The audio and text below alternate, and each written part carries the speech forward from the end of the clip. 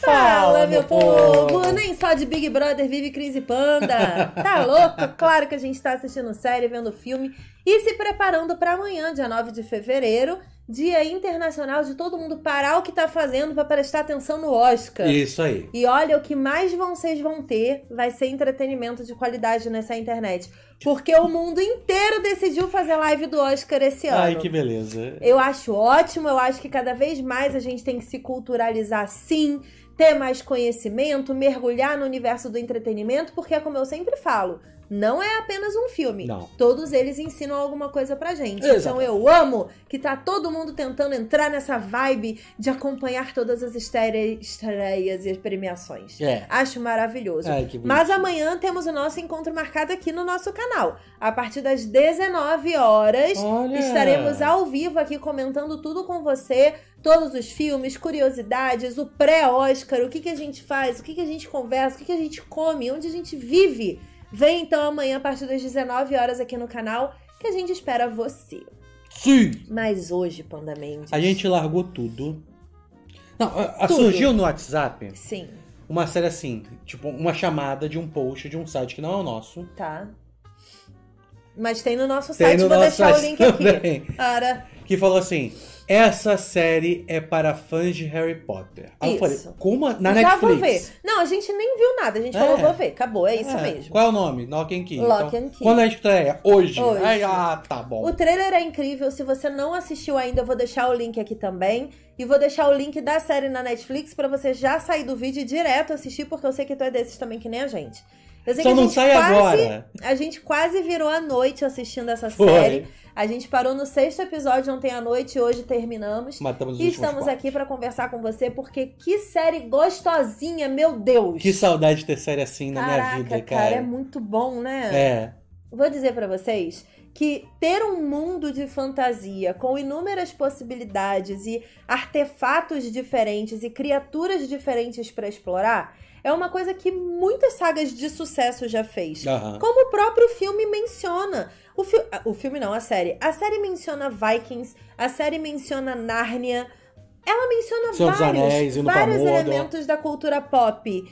E é isso aí, sabe? É você não querer esconder que você é inspirado por outros conteúdos sensacionais e que você resolveu criar o seu próprio universo baseado nisso. Ara. Eu acho lindo quando um autor consegue entregar. É igual a Umbrella Academy, é a mesma coisa.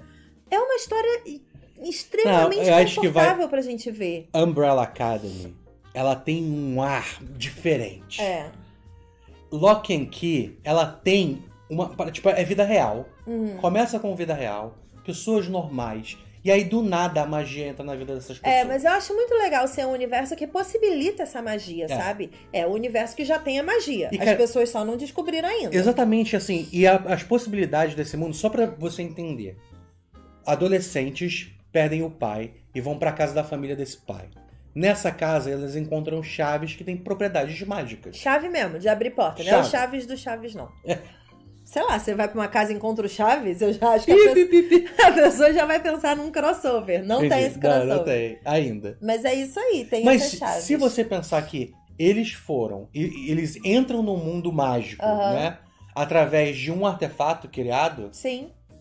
isso dá é, abrangência pra tanta possibilidade. É. Não, e eu acho legal que a própria história vai respondendo muitas dúvidas, porque quando você abre uma porta e dá no outro lugar, você pensa, opa, pode ir pra qualquer lugar, mas não pode, É. porque você tem que saber como é que é a, a porta do lugar que você tá indo. Então isso é muito legal, assim, ele vai trazendo meio que um conteúdo autoexplicativo pela dúvida dos próprios personagens da história. Eu achei Foi, sensacional. foi. Eu cara. tô muito entregue pra essa série, assim, muito fãzinha. É que são muitas poucas, muitas poucas pessoas sabem como funciona esse mundo. E isso que é incrível. É. É porque é um mundo mágico. Agora sim, tem uma pegada ponte pra Terabitia, porque ali Labirinto do Fauno. o Labirinto do Fauno também e Nárnia também no fim das contas, porque é muito eu acho muito sensacional quando um autor consegue manter uma narrativa de 10 episódios com núcleos de personagens que mesclam adultos, adolescentes e criança e ter um conteúdo ali que é a narrativa principal, que é a magia, só para os adolescentes e para as crianças. E os adultos continuam existindo nesse universo, mas é como se não existisse. É muito ponto para terapia mesmo, É. porque é muito changeling, né? Eles estão ali, mas eles não enxergam. Então, tanto faz como tanto fez a existência É, é deles. como se não fizesse diferença, Não, né? nenhuma. E aí existe um bloqueio ali, Isso. cara. e Que aí isso é muito gentil da série de mostrar, assim, é. É. muito sutilzinho. E é gentil também a forma que ela lida, porque a vida dos adultos segue. Aham. Mas eles não estão na história E os principal. problemas de ser É. adultos estão ali no meio, Sim. né? É Cara, muito legal, cara. É muito gostosa a história. Lembra a história sem fim. Cara, pega todos esses conteúdos fantásticos que você já assistiu na vida e fala assim: Stephen King, escreve uma história pra mim que tem História sem fim, Harry Potter, Senhor dos Anéis, Nárnia, Ponte pra Terabit e várias outras. Aí E fala, terror. Tá bom, Lock and Key. É isso que aconteceu. Mas não é do Stephen King. Essa história é baseada em HQs, que é do Joe Hill. Pra quem não conhece, são 32 edições que já tem lançadas. E aqui no Brasil é lançado pela Geektopia. E o que, que eu achei sensacional? Hum. Já teve gente tentando fazer adaptação de Lock and Key e não rolou porque acharam ruim. A Fox já tinha encomendado uma série, depois a Universal encomendou um filme, Eita. depois a Hulu encomendou uma série e em Eita. 2018 a Netflix falou: "Para, chega dessa palhaçada, deixa que eu faço". Acharam ruim? Acharam ruim?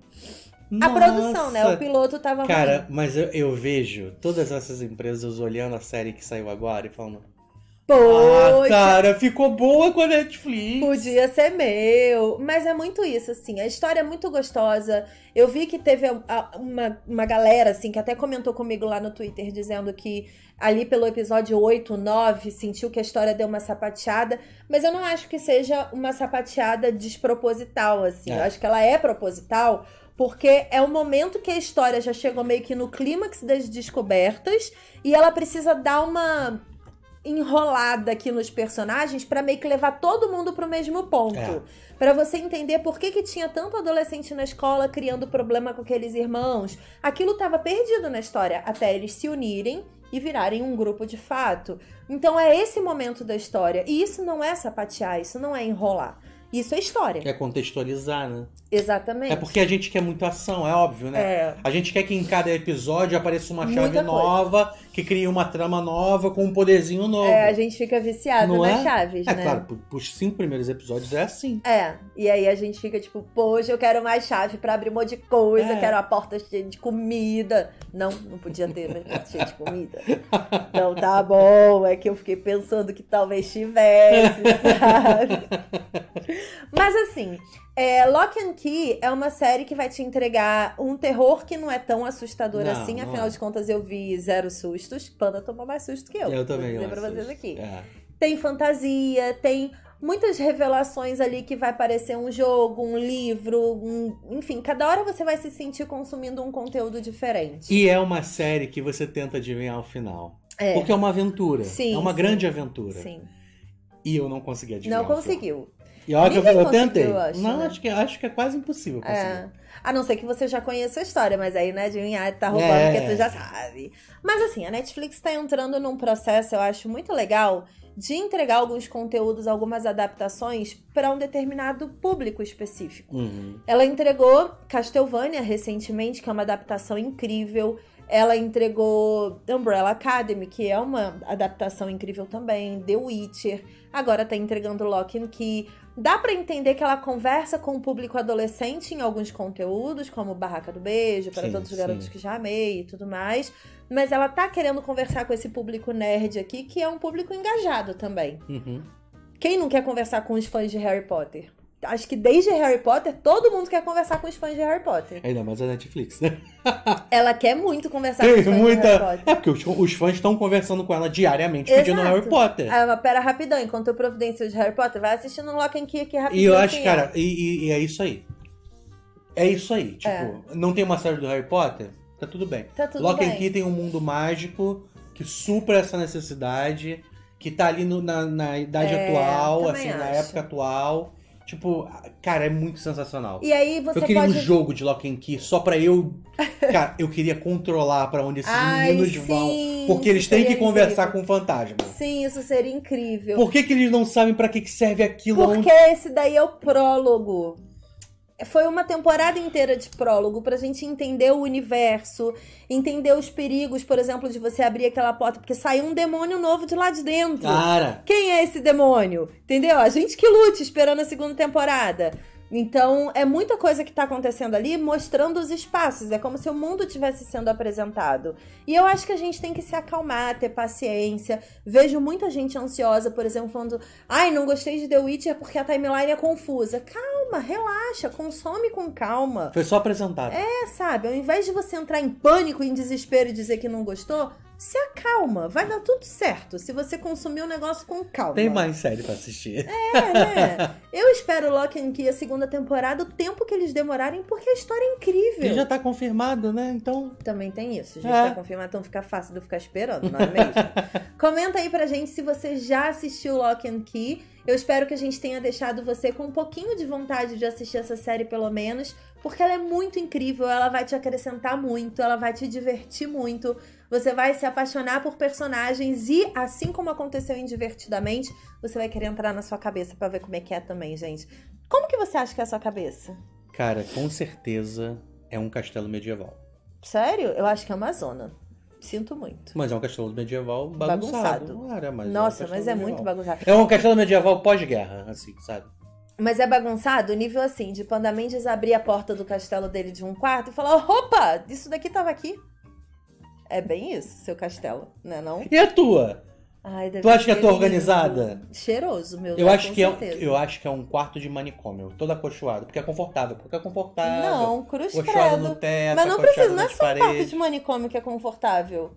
Cruzes, que horrível. Não, uma casa de campo, Uma casa de campo. toda de madeira quentinha. Ai, sim, com uma lareira e pãozinho Lareira, quentinho pãozinho saindo quentinho. do sa- forno. Isso. A casa da Claire. E aí de eu tenho uma parede gigantesca, igual a biblioteca de A Bela e a Fera, assim, e todas as minhas memórias são livros. Aí eu assim, quero ó. te perguntar uma parada. Ah, eu quero pra pra ver. tu-. Então, essa que é a parada. Hum. Você iria pra sua cabeça? Porque me deu nervoso. Ai, Tão gigante nervoso. enfiar uma chave. Ai, me na deu nervoso nuca, também. E, faz um barulhinho. E faz um É. barulhinho de.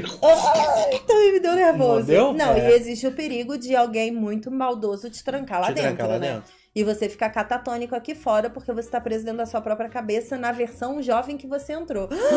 que pânico! É bizarro. Meio É bizarro bizarro. isso daí. É. Ai, mas conta aí pra gente nos comentários como seria a sua cabeça em Lock and Key. Porque a minha com certeza seria uma casa de campo com lareira quentinha, cheirando a pãozinho quente no forno. É, o meu castelo em guerra. Minha cabeça seria linda. É. Conta pra gente se você já assistiu Lock and Key também, que a gente quer saber a sua opinião sobre a série. Eu dou cinco coxinhas pra Lock and Key. Ah, eu dou seis coxinhas e nove. cinco só, tá? Ah, então é cinco mesmo. Obrigada. E nove o que que você ia falar? Nove e dois terços. Tipo, um número bem gigante quebrado. É Maluco. porque é nove e três quartos. Ai, eu fico nervosa. Obrigada a todo mundo que assistiu esse vídeo até aqui. Agora a gente vai ali que tem mais um monte de coisa do Oscar. Essa série não fez bem assistir. pra gente, Não fez bem. gente. Beijo. E até a próxima. Tchau. Por que eu me escondi assim pra bom dar um beijo? Eu não sei. A Isso, gente beijo. é beijo. Beijo. Beijo.